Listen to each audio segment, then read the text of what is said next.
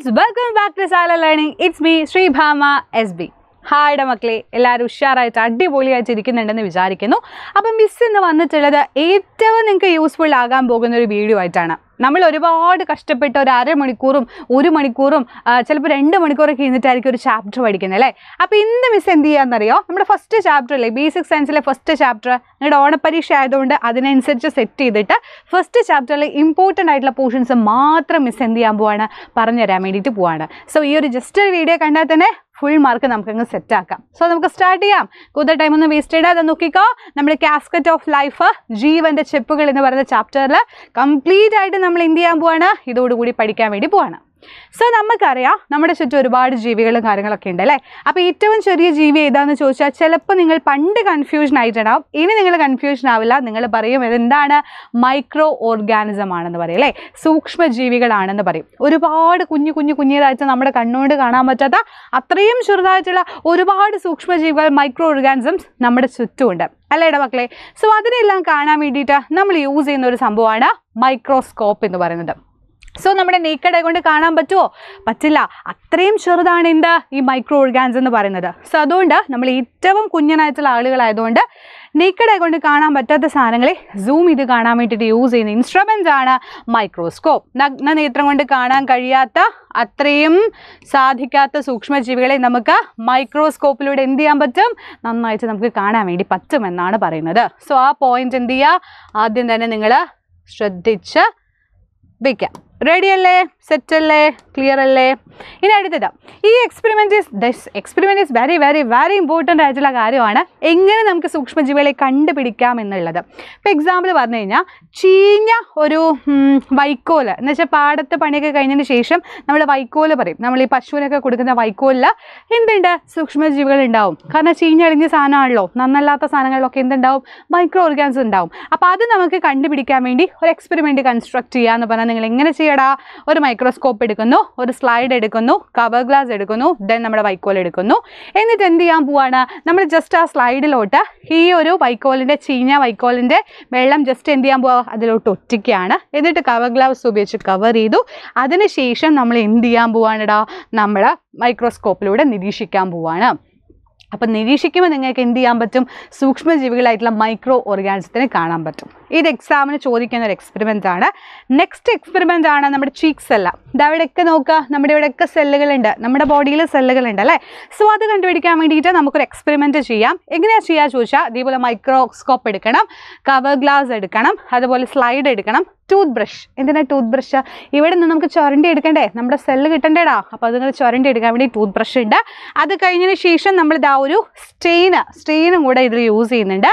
And water then cover glass ഇത്രയും സാധനമേ വേണ്ടുള്ളൂ. ഇതാ നോക്കിക്കോ ഒരു ഗ്ലാസ് നമ്മൾ ഒരു സ്ലൈഡ് നമ്മൾ ആദ്യം എടുത്തു. അതിലൂടെ നമ്മൾ ചെറുതായിട്ട് എന്ത് ചെയ്തിട്ടുണ്ട് നമ്മുടെ ആ ചീക്ക് സെല്ലിന്റെ ആ പോർഷൻ നമ്മൾ അതിലോട്ട് വെച്ചു. എന്നിട്ട് കുറച്ച് സ്ട്രെയിൻ ആഡ് ചെയ്തു. സ്ട്രെയിൻ കൂടെ ആഡ് ചെയ്ത് ഒരു കവർ ഗ്ലാസ് ഉപയോഗിച്ച് കവർ ചെയ്തു. അതിനുശേഷം നമ്മൾ മൈക്രോസ്കോപ്പിലൂടെ അത് നിരീക്ഷിക്കുമ്പോൾ നിങ്ങൾക്ക് ഇതുപോലെ ആയിരിക്കും കാണാൻ വേണ്ടി പറ്റാം. ഒരുപാട് സെല്ലുകളെ നിങ്ങൾക്ക് കാണാൻ വേണ്ടി പറ്റും.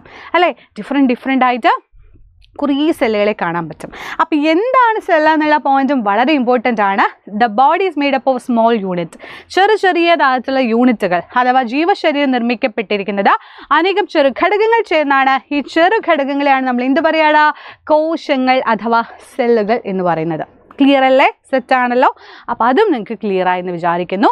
ഇനി ഇത് വളരെ ഇമ്പോർട്ടന്റ് ആയിട്ടുള്ളൊരു പോർഷനാണേ എന്താണ് യൂണിസെല്ലുലാർ ഓർഗാനിസം അഥവാ ഏകകോശ ജീവികൾ ഏകകോശം എന്ന് പറയുമ്പോൾ തന്നെ എന്റെ മക്കൾ എന്താലോചിക്കുക ഒരു സെല്ല് എന്ന് ആലോചിക്കുക ഒരു സെല്ല് ഒരു കോശം മാത്രമുള്ള ജീവികളെ നമ്മൾ വിളിക്കുന്ന പേരാണ് unicellular organism example amoeba bacteria euglena അപ്പോൾ നിങ്ങൾ ഏകകോശം പറയുമ്പോൾ തന്നെ ഒന്ന് എന്ന് മാത്രം ആലോചിച്ചാൽ തന്നെ നിങ്ങൾക്ക് ഈസി ആയിട്ട് എന്ത് ചെയ്യാൻ പറ്റും?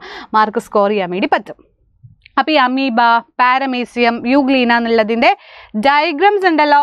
ഇതും വളരെ ഇമ്പോർട്ടന്റ് ആണ്. ഡയഗ്രാം പഠിച്ചു വെക്കണം. എക്സാമിന് എപ്പോഴും ചോദിക്കുന്ന പോർഷനാണ് ഡയഗ്രാം വരച്ചിട്ട് ഇത് ആരാണെന്ന് ഐഡന്റിഫൈ ചെയ്യാൻ വേണ്ടിയിട്ടും ചോദിക്കാൻ സാധ്യത കൂടുതലാണ്. റെഡി അല്ലേ? സെറ്റ് അല്ലേ? അപ്പോൾ യൂണി സെല്ലുലാർ ക്ലിയർ ആയെങ്കിൽ ഇനി മൾട്ടി സെല്ലുലാറിലോട്ട് വരാം.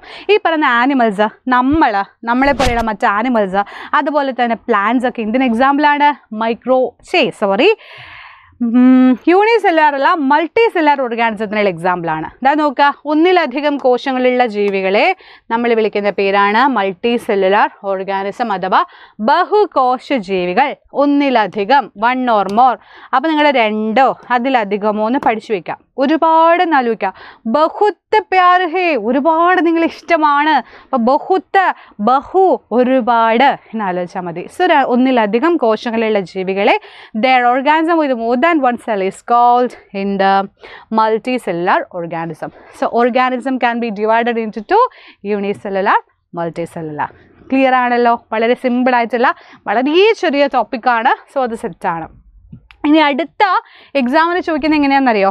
ഇപ്പം ആനയുടെ കുട്ടിയും ആനയും തമ്മിൽ വലുപ്പത്തിൽ വ്യത്യാസം ഉണ്ടല്ലോ അപ്പോൾ അത് എന്തുകൊണ്ടാണ്? സെല്ലുകളുടെ വലുപ്പം കൂടുന്നത് കൊണ്ടാണോ അതോ സെല്ലുകളുടെ നമ്പർ കൂടുന്നതുകൊണ്ടാണോ? എന്താ കുട്ടി ചോദിക്കുന്ന പോലെ will my cells also grow up I grow up എന്ന് ചോദിക്കുന്നുണ്ട്. അവർ കുട്ടി വലുതാവുന്നതിനനുസരിച്ച് എന്റെ കോശങ്ങളും വലുതാവോ അച്ചാന്ന് ചോദിക്കുമ്പോൾ നിങ്ങൾ നിങ്ങളുടെ അടുത്ത് ഒരാൾ ചോദിച്ചെങ്കിൽ നിങ്ങൾ എന്ത് പറഞ്ഞു കൊടുക്കണം? അല്ല ബോഡിയിൽ നമ്പർ ഓഫ് സെൽസ് അഥവാ കോശങ്ങളുടെ എണ്ണം. അല്ലേ? നമ്പർ ഓഫ് സെൽ അഥവാ കോശങ്ങളുടെ എണ്ണത്തിലാണ് വ്യത്യാസം വരുന്നത്. അല്ലാതെ ഒരിക്കലും എന്തിലല്ല മക്കളെ വരുന്നത്? നമുക്കറിയാം. അത് കോശത്തിന്റെ വലുപ്പത്തിലല്ല എന്നുള്ളത് നിങ്ങൾക്ക് ക്ലിയർ ആയിട്ട് ഇപ്പം അറിയുന്നുണ്ടാവും. സോ എന്തുകൊണ്ടാണ് നമ്മൾ വലുതാവുമ്പോൾ നമ്മൾ ഇതായിട്ട് നമ്മുടെ ബോഡി വലുതാവുന്നതിനനുസരിച്ചിട്ട് നമ്മുടെ എന്തിലാ മാറ്റം വരുന്നത്? നമ്പർ ഓഫ് സെൽസ് കോശങ്ങളുടെ എണ്ണത്തിലാണ് വ്യത്യാസം വരുന്നത് എന്നുള്ള പോയിന്റ് ആലോചിച്ച് വെക്കുക. That is very very important സെറ്റല്ലേ? റെഡിയല്ലേ? ഇനി പഠിക്കേണ്ട കേസാ കോശത്തിന്റെ ഘടനയാണ്. ഓക്കെ അപ്പോൾ കോശത്തിനകത്ത് എന്തൊക്കെയുണ്ട്? ഞാൻ നോക്കുക ന്യൂക്ലിയസ് ഉണ്ട്. ഏറ്റവും നടുവിലായിട്ടുള്ള നമ്മുടെ ഭാഗമാണ് ന്യൂക്ലിയസ് അഥവാ മർമ്മം എന്ന് നമ്മൾ പറയും. കേന്ദ്രഭാഗം സെല്ലിന്റെ കേന്ദ്രഭാഗം. ദെൻ അത് കഴിഞ്ഞതിന് ശേഷം എന്തുണ്ട്? ഇതിന് ചുറ്റും ഒരു ലിക്വിഡ് ഇങ്ങനെ പോകുന്നുണ്ട് അല്ലേ? ആ ലിക്വിഡിനെ നമുക്ക് എന്ത് പേര് പറഞ്ഞ് വിളിക്കാൻ പറ്റും? സൈറ്റോപ്ലാസം എന്ന് പറയാൻ പറ്റും. അഥവാ കോശദ്രവ്യം എന്ന് നമുക്ക് പറയാൻ പറ്റും. കോശദ്രവ്യം എന്നൊക്കെ പറയുമ്പോൾ തന്നെ നിങ്ങൾ ആലോചിക്കുക. ഓ ലിക്വിഡ് ആണ് എന്ന് ആലോചിക്കുക. അപ്പം നമ്മുടെ അതിലിങ്ങനെ നിറഞ്ഞിരിക്കുന്ന ഒരു ദ്രവപദാർത്ഥത്തിനെ നമ്മൾ വിളിക്കുന്ന പേരാണ് കോശദ്രവ്യം. ദെൻ ഇതിന് ചുറ്റും കവർ ചെയ്ത് നിൽക്കുന്ന ഒരു പോർഷനിൽ ഏതാ നോക്കുക? ഇതിന് നമ്മൾ സെൽ മെംബ്രെയിൻ എന്നാണ് പറയുക. സെൽ മെംബ്രെയിൻ അഥവാ കോശസ്തരം എന്ന് നമ്മൾ പറയും. എന്ന് വെച്ചാൽ ഒരു ആവരണം പോലെ കോശത്തിനെ സംരക്ഷിച്ചു നിർത്തുന്നു. സോ ന്യൂക്ലിയസ് എന്ന് പറഞ്ഞ എന്താണ്? ഇമ്പോർട്ടന്റ് പാർട്ടാണ് സെന്റർ ഓഫ് ദ സെല്ലാണ് കോശത്തിന്റെ നടുവിലുള്ള ഭാഗം അല്ലേ? ആൻഡ് ദെൻ അത് കഴിഞ്ഞ ശേഷം cell membrane is the covering of the cell കോശത്തിന്റെ ആവരണമാണ് കോശസ്തരം എന്ന് പറയുന്നത്. ക്ലിയർ ആണെന്ന് വിചാരിക്കുന്നു.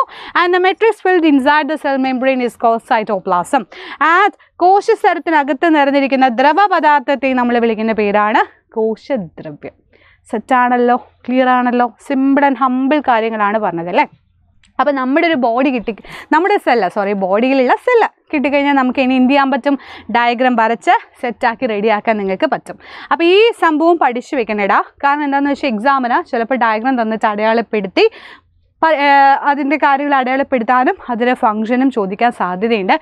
So this diagram is also very important clear and then നിങ്ങൾ പറഞ്ഞ പോലെ പാനിമൽസിന് മാത്രം ഇങ്ങനെ വരച്ച് കഴിഞ്ഞിട്ട് കാര്യമുണ്ടോ? നമ്മുടെ പ്ലാൻ സെല്ലിനെ വരച്ചില്ലെങ്കിൽ പ്ലാൻ സെല്ലിന് എന്താണ് സീനാണ് അപ്പോൾ പ്ലാൻ സെല്ലിനെയും വരയ്ക്കണം. അപ്പോൾ പ്ലാൻ സെല്ലും ആനിമൽ സെല്ലും തമ്മിലുള്ള ഡിഫറൻസ് ആണ് ഇനി ഇമ്പോർട്ടന്റ് ആയിട്ടുള്ള ഒരു പോർഷൻ എന്ന് പറയുന്നത്. ഇത് എപ്പോഴും എക്സാമിന് ചോദിക്കുന്നതാ. റിപ്പീറ്റഡ് ക്വസ്റ്റ്യൻ ആണെന്ന് വേണമെങ്കിൽ നമുക്ക് പറയാം. റിപ്പീറ്റഡ് ക്വസ്റ്റ്യൻ എന്നാൽ നോക്കിക്കോ. എന്താ ചോദിക്കുന്നതെന്നറിയോ? ഇതിൽ രണ്ടും തമ്മിലുള്ള ഘടനാപരമായിട്ടുള്ള വ്യത്യാസം എന്താണെന്ന് ഡയഗ്രാം തന്ന് ചോദിക്കാം അല്ലെങ്കിൽ സെപ്പറേറ്റ് ആയിട്ടും ചോദിക്കാം. നോക്കിക്കോ മർമ്മം രണ്ടിനും ഉണ്ട്. ഹരിതകം എന്ന് പറയുന്ന ക്ലോറോപ്ലാസ്റ്റ് എന്ന് പറയുന്ന ആൾ ഈ പച്ച കളർ നിങ്ങൾക്ക് എവിടെ മാത്രമേ കാണാൻ പറ്റുന്നുള്ളൂ? നമ്മുടെ പ്ലാന്റ് സെല്ലിൽ മാത്രമേ കാണുന്നുള്ളൂ. അല്ലേ മക്കളെ? ഇനി അടുത്ത നോക്കുക കോശദ്രവ്യം രണ്ടിലും ഉണ്ട്. എവിടെയും നീലക്കളർ ഉണ്ട് ഇവിടെയും നീലക്കളർ ഉണ്ട്. സോ കോശദ്രവ്യം അവിടെ ഉണ്ടെന്ന് മനസ്സിലായി. കോശഭിത്തി നോക്കുക സെൽ ബോൾ എന്ന് പറയുന്നത് ഇവിടെ ഉണ്ടോ? ഇവിടെ ഇല്ല. ഇവിടെ മാത്രമേ കുറച്ച് ഭിത്തി കൂടുതലുള്ളൂ. ഒരു എക്സ്ട്രാ പ്രൊട്ടക്ഷൻ കൊടുത്തിട്ടുള്ളൂ. സോ അതുകൊണ്ട് സെൽ വോൾ എന്ന് പറയുന്നത് എവിടെ മാത്രമേ കാണുള്ളൂ? പ്ലാൻ സെല്ലിൽ മാത്രമേ കാണുള്ളൂ. ഫേനം. ഫേനം ആക്ച്വലി ഡിഫറൻസ് ഉണ്ടോ ചോദിച്ചുണ്ട് നമ്മുടെ പ്ലാൻ സെല്ലില വലിയ ഫേനം. നോക്കുക ബലൂൺ പോലെ വലുതും മറ്റവിടെ കുറച്ച് ചെറുതുമാണ് അത് ഡിഫറൻസ് ചോദിക്കുകയാണെങ്കിൽ എഴുതിയാൽ മതി. പക്ഷെ രണ്ടിലും ഫേൻ ഉള്ളതുകൊണ്ട് നമുക്ക് കുഴപ്പമില്ല. ദെൻ കോശ സ്ഥലവും നമുക്ക് രണ്ടിലുണ്ട്. സോ ദ ഡിഫറൻസ് എന്ന് പറയുന്നത് എന്താണ്? ഹരിതകവും കോശഭിത്തി. അപ്പോൾ അത് പഠിക്കാൻ സിമ്പിളായിട്ട് മിസ് പറയാം. ഹരിത ഭിത്തിയിൽ അമർത്തി. ഹരിത ഹരിതകം. ഭിത്തി കോശഭിത്തി. അത്ര ഡിഫറൻസേ ഉള്ളൂ. ആ രണ്ടെണ്ണം പഠിച്ചു കഴിഞ്ഞാൽ എന്താണ്? ഈസി ആയിട്ട് നമുക്ക് മാർക്ക് സ്കോർ ചെയ്യാൻ പറ്റും. ഇതാ നോക്കുക ഇതിൽ വ്യത്യാസം ആകെ നിങ്ങൾക്ക് കാണാൻ പറ്റുന്നത് ഹരിതകത്തിലും കോശഭിത്തിയുടെയും കേസിൽ മാത്രമല്ലേ ഉള്ളൂ. അപ്പം എന്റെ മക്കൾ എന്ത് ചെയ്യുക വേഗം ഇത് വരച്ചു കൊടുക്കുക. ആ ഡിഫറൻസും കൂടെ അങ്ങ് വരച്ചു കൊടുക്കുക. അപ്പോൾ നമുക്ക് ഫുൾ മാർക്ക് ഈസി ആയിട്ട് ഉറപ്പിക്കാം. ഓക്കെ അല്ലേ? ഇതാ നോക്കുക ഇത്രയേ ഉള്ളൂ നമ്മുടെ ചാപ്റ്ററിൽ ഇമ്പോർട്ടന്റ് ആയിട്ട് പഠിക്കേണ്ട പോർഷൻസ് അല്ലേ? നിങ്ങൾക്ക് ഇത്ര കുറഞ്ഞ സമയം കൊണ്ട് ഫുൾ മാർക്ക് വാങ്ങിക്കാനുള്ള കാര്യങ്ങൾ മിസ് ഈ ചാപ്റ്ററിൽ നിന്ന് സെറ്റ് ആക്കിയിട്ടുണ്ട്. സോ ഇത് യൂസ്ഫുൾ ആണെന്ന് വിചാരിക്കുന്നു. അപ്പോൾ ഓണ പരീക്ഷയ്ക്ക് ഫുൾ മാർക്കിന് എല്ലാവരും വാങ്ങിക്കണം. So wish you all the very best and thank you so much next video കാണാം. അതുവരേക്കും bye bye dears see you